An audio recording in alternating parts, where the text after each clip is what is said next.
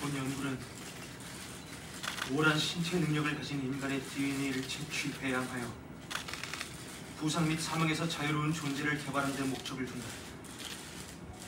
나아가 복제를 통해 고도의 전투력을 발휘하는 군대를 양성하여 전쟁을 끝낼 가능성을 확인하고자 한다.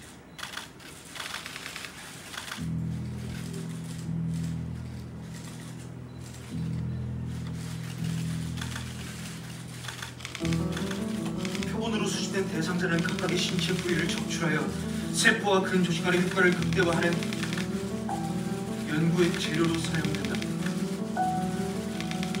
또한 수집된 인간의 체내에 배양된 우울한 유전자를 주입 어떠한 효과 및 변화를 야기하는지 임상 실험의 대상으로 사용한다.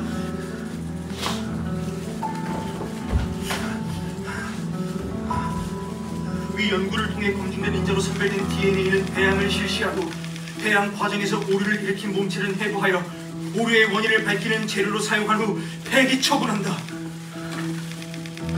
수집번호 A426 내 측도와 상황근에 주입된 세포 변이 주사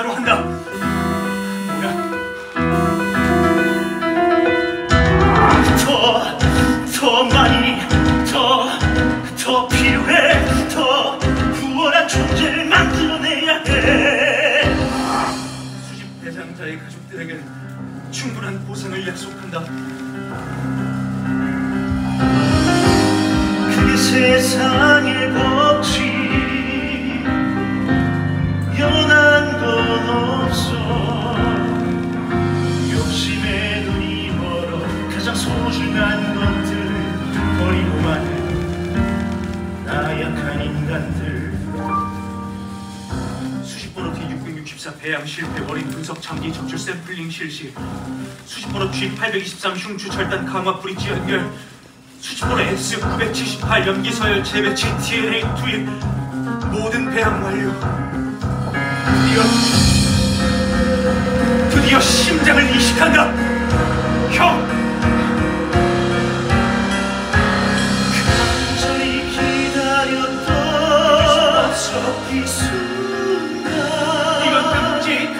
살인 네가 다시 해. 태어날 시간 멈춰야 해